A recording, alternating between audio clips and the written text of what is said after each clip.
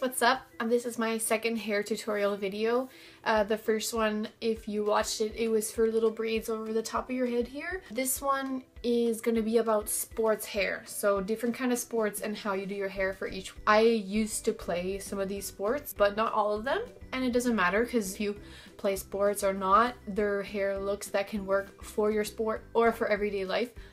It's just a different take on hairstyles that could work for you uh, and it's just a little bit more creative way to do your hair every day. We're gonna do uh, a few sports, no heat involved.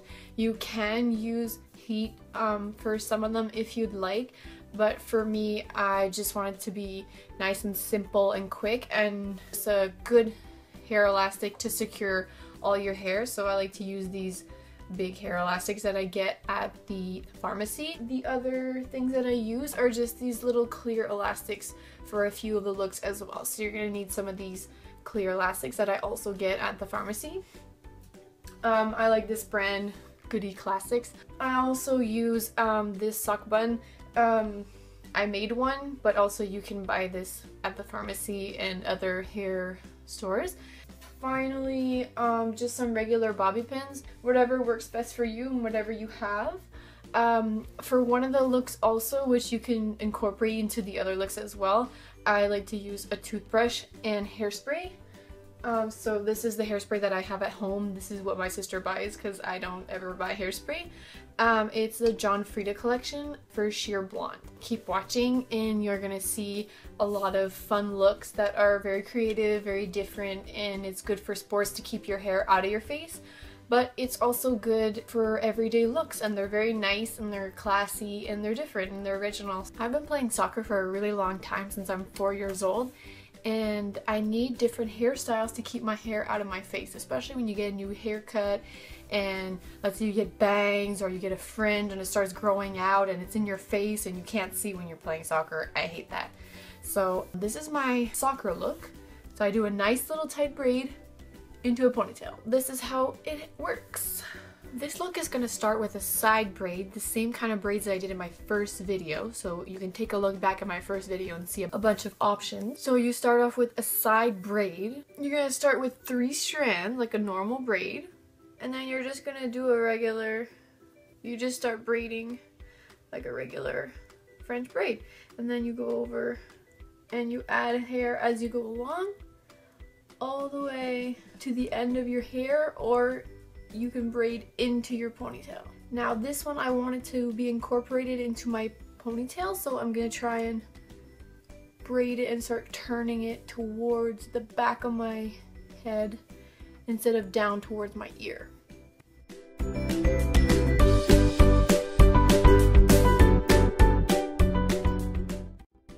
Once I'm done, I'm gonna secure it with a little clip. So I like to use little clips like this. So it's like, I don't know how to, to describe it. It's like, you just close it like that and then it holds it. So you just put your hair through and then you close it like that. And then it holds it. And then I'm gonna do my ponytail nice and high.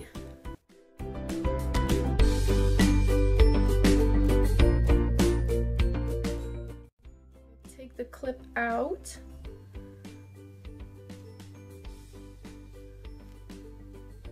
Get stuck. Uh, okay, like that. There you have it. So a nice little braid into a ponytail.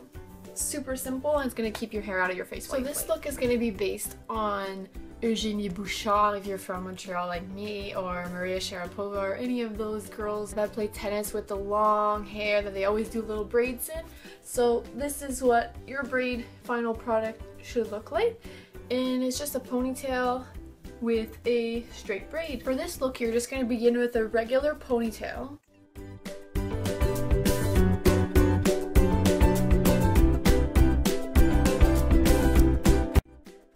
Ready, you're just to do a regular braid.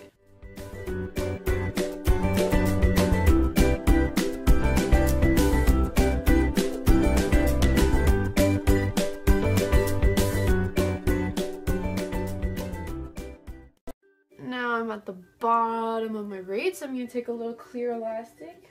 I don't know if you can even see it. A little clear elastic. And I'm to tie it on the end. There you go. You're all set. And you have a nice braid. I don't actually have a volleyball shirt because I never actually played volleyball, but I just assumed a sports bra would be okay since it's like beach volleyball they wear these. So um, this is my volleyball look. So as you can see it's like jasmine hair from Aladdin and I'm using this as my volleyball hair because this is the first time that I saw it on a real person, not on an animated Disney character. Um, I was watching volleyball, I think it was in the Olympics one year, and there was this Brazilian girl who had super long dark hair and this is how she wore it. It's a cool look, it's different, and it's not just like a regular braid. I don't see a lot of people that wear their hair like this, so I like it. I think it's original. And this is my volleyball look.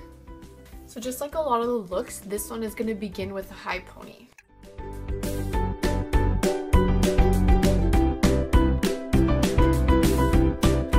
Next, you are going to start adding your little clear elastic. So for me, I'm going to use four, I believe, so we'll see how it goes. So you're going to start with your first elastic, and you're going to tie it as if you're tying all of your hair, but you're just going to do it a little bit lower.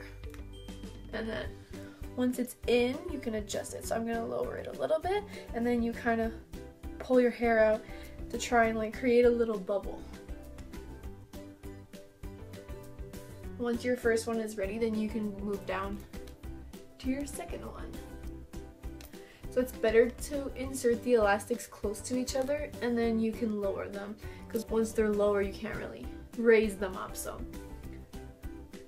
start them close together and then as you pull your hair out it's gonna lower itself.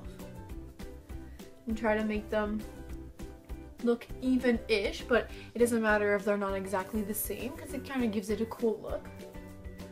Now for your third one. Again, start them pretty close together.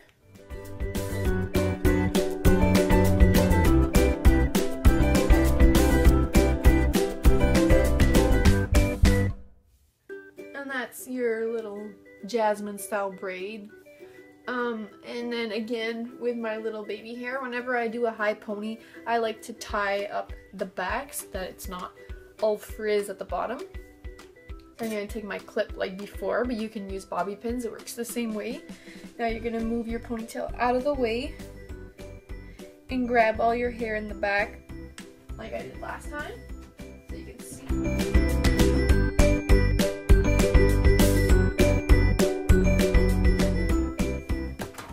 If you have little baby hairs at the top too, what I do sometimes is I take an old toothbrush that I don't use anymore or a new one that you don't are not going to use. So I just take an old toothbrush and then you just spray it with your hairspray and then you just brush the little baby hairs back all along the top and they're gonna stay in place. So you're not spraying your whole hair with the hairspray straight from the bottle. You're just gonna spray your toothbrush and then brush back the little baby hairs. This is my ballet bun. So um, some people might argue that ballet is not a sport, but I know that Victoria's Secret Angels do ballet dancing as their workout, so I think it's pretty demanding and it can be considered a sport. So this is why I included it in my sports hair tutorial. It's a nice little classy bun and I'm gonna use a sock bun to create this style of bun. So from the aerial view, that's what it looks like from the top. It's a classy little bun and it's pretty for if you're gonna do ballet or if you're gonna uh, whatever you do in your everyday life. So it's really good hairstyle to keep your hair out of your face and it looks pretty too at the same time. Just like all the other looks, this one is gonna start in a high pony.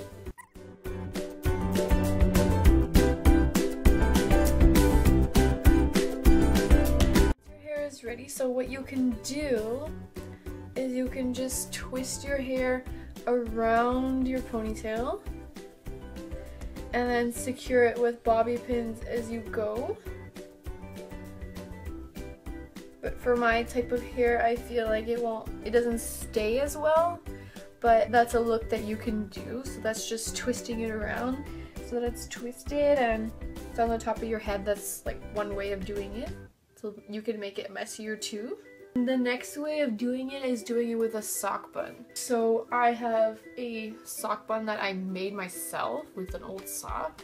So this is like the heel part and then you see you cut off the toes and then you just roll it all the way into a donut until the whole sock is rolled up. So that's one way, one way of doing it.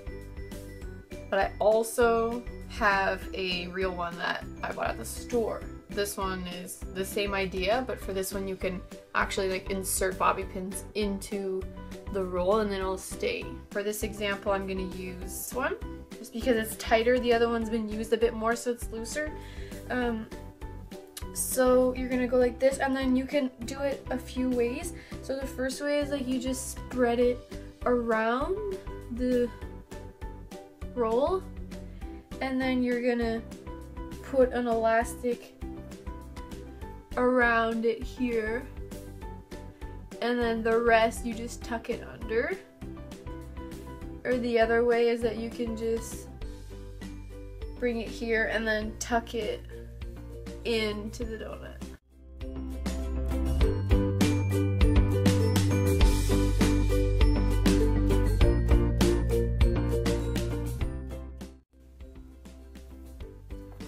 Here is the final look. So this one is a little bit more messy, but you can always do it tighter so that it's really, really tight to the roll and cleaner. So this one's a little bit messier. And then you can just pin it with bobby pins to make sure that it doesn't uh, unroll. So as you can see from the top, so it's rolled up and then you can see the middle. This next look is gonna get you ready for the slopes. So this is the snowboarder or the skier braid. So it's just a really simple braid down the side to keep your hair under control if you uh, need to put a hat or a helmet on or whatever and you want to keep your hair out of your face. It gives you the chance to do a nice braid on the side while having your hat on because you know usually when you have high up braids like we did the tennis braid and it's up high and it looks kind of funny when you have a big bump in your hat. Everything's gonna fit nicely and your hair won't be flying in your face all day or getting stuck in your zipper of your coat. So for the snowboarder look, you can do it two ways. Um, I'm to start with the first way, which is just a side braid along the bottom and just starting around halfway through your hair and you just start here and you braid it all the way down. And the second way is to actually do a French braid, start at the top and go all the way down to the side. I'm just to do the first type because I'm to do it for if you're to be wearing a toque or a helmet, so you don't necessarily need to start from the top you're just gonna start from the side and you're just gonna do a regular braid. You're gonna take three strands, separate your hair into three. And this one is one of the most simple braids. You're just gonna braid along the side. Just enough so it stays out of your face. But it's it's a low braid so you can still put your hat on, you can still put your toque on still put your helmet, whatever you're wearing on your head. And it still looks pretty and still looks girly and it's still practical. We're gonna put an elastic to secure the bottom. I like to use the clear elastics, little tiny clear, and you're gonna put it on the bottom. And then you can keep it like this, or you can mess it up a little bit more and make it messier and a little bit bigger. Or you can just leave it tight and it's gonna loosen up as the day goes on. And you can add a hat to that or you can pin this back if you need to. There you go, you have your snowboarder braid. Hey guys, uh, this is my surfer look. So it's super messy, really, really easy to do. Great for if you're at the beach or not at the beach. You can fool people by doing this look and they'll think that you just came from the beach. This is not actually how the look is gonna end up looking exactly because you'll see when I'm doing the steps I don't leave the braids in as long I just put the braids and take them right out just to show you uh, the steps, but really you should be leaving your braids in for a little bit longer. Maybe heat them with the hair dryer so that it keeps the um, shape a little bit longer. So it has like the beginning steps of the surfer hair, but it's not exactly how it's gonna look. And then you can spray it with some sea salt spray or hairspray that you have at home to make it more beachy, you know, get those beachy waves. So that's it. So I know I look a little crazy right now, but I, I did a few braids in my hair. I actually did all my hair except for a little bit in the front. This is how you're going to start off this look. So you're going to do little braids around your hair for all of your hair. You're going to do regular three-stranded braids. And then you want to make sure that it's pretty loose. You don't want it to be too tight.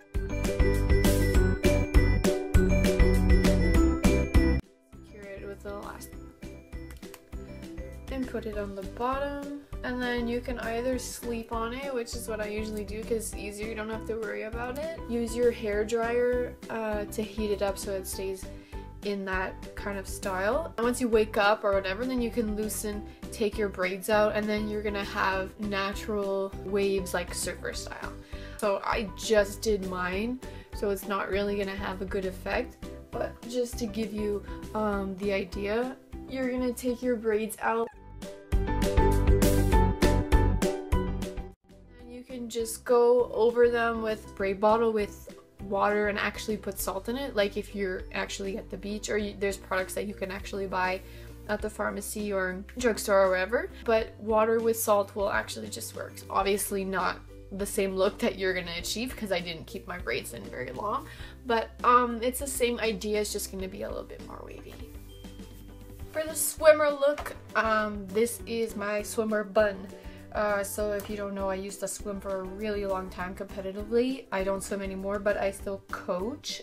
I still do this look pretty often, like I would say at least every two days, if not every day. At one point during the day, when I get tired of having my hair down, I throw it up in my swimmer bun and this is what it looks like. So it doesn't matter if your hair is wet or dry, it will just have a different effect. It will just fall a little bit differently because when it's wet, it's a little bit more stiff and when it's dry, my hair is like a little bit more voluminous, voluminous, and it's like bouncier, so it kind of, sometimes it'll fall up higher, so I'll have to like bring it down, but when it's wet, it's heavier, so it'll just fall uh, naturally. Since this is the swimming look, it works better if your hair is wet to start, but it doesn't have to be like that, you can be on a regular day with your hair dry and it works anyways. So for the purpose of this video, I just wet my hair a little bit in the sink uh, so it's not completely wet, but it's pretty damp. You're just gonna start with a high pony. When I do this look, I always, always, always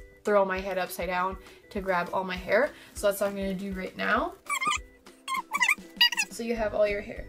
And then with your elastic, this is where it gets a little bit complicated. So you're gonna wanna put all your hair, but you don't go all the way through. Then you're gonna twist your elastic and your hair together and then flip your hair around the back and then I like to grab it again. You grab your elastic,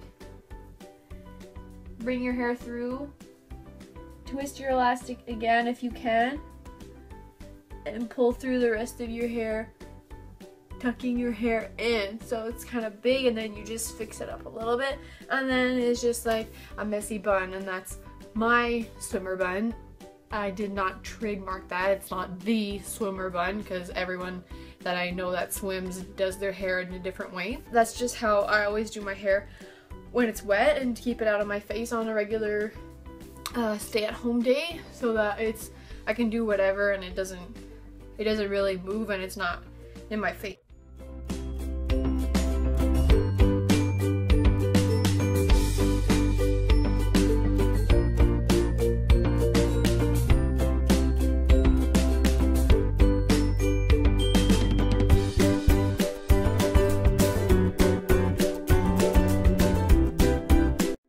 I like to bring my hair back around so that I grab it again. So my hair is kind of long.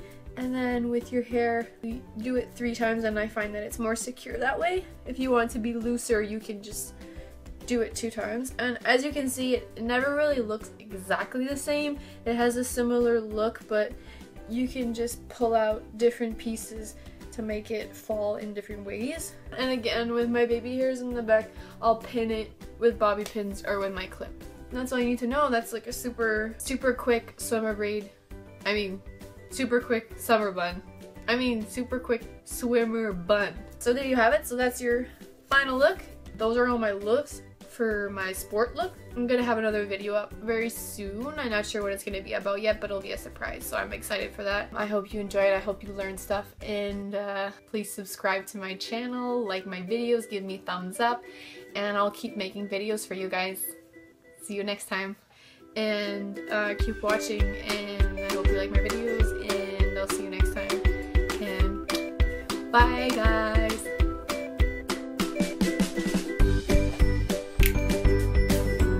done your swimmer bun, you're ready to go to the pool. You're ready to put your bathing cap on and win some races. I'm ready to go.